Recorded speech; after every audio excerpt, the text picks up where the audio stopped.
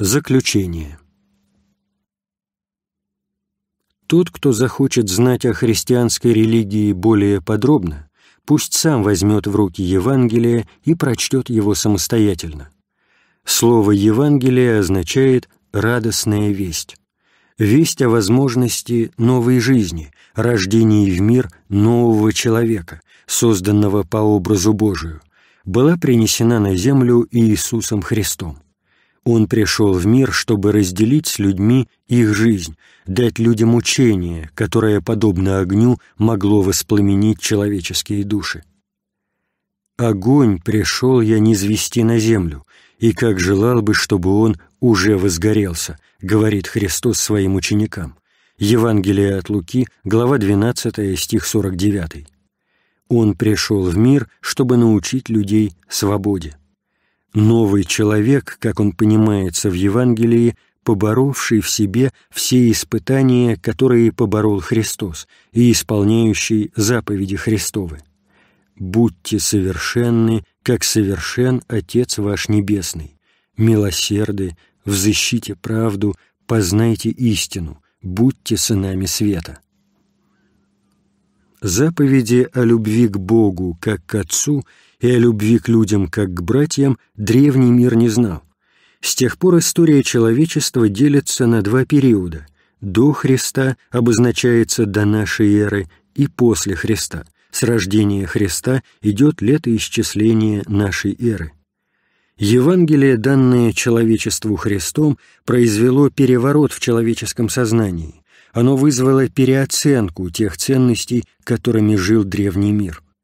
Евангелие есть религия званых к новой жизни, но званый не есть еще совершенный, и среди званых не все перерождаются к новой жизни.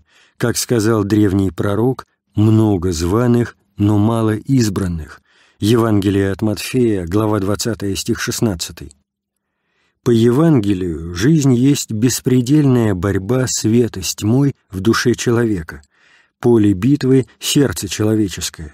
Эта борьба всегда идет и в истории человечества. История — это беспрестанная смена явлений.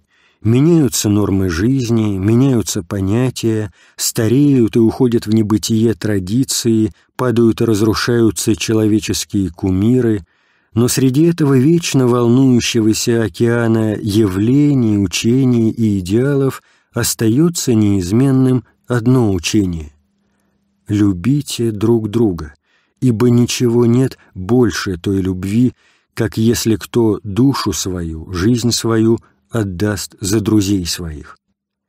Христос первый не только научил людей этой заповеди, но и первый исполнил ее, отдав жизнь свою за спасение мира. Пройдут века, тысячелетия, будут сменять друг другу учения, но эта заповедь Христа останется навсегда всесовершенной, незаменяемой и непревзойденной. Она дает смысл и существование, силу и волю к жизни. Христос, Сын Человеческий, навсегда останется идеалом, и всегда люди будут чтить и ценить, что возвещено в Евангелии. Его заповеди будут путеводной звездой. Христос есть свет миру, и этот свет будет светить людям, пока будут существовать они на земле.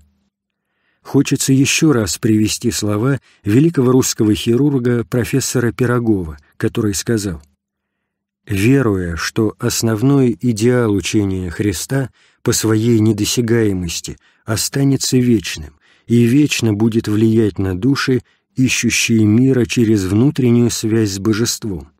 Ни на минуту не можем сомневаться в том, что этому учению суждено быть неугасаемым маяком на извилистом пути нашего прогресса.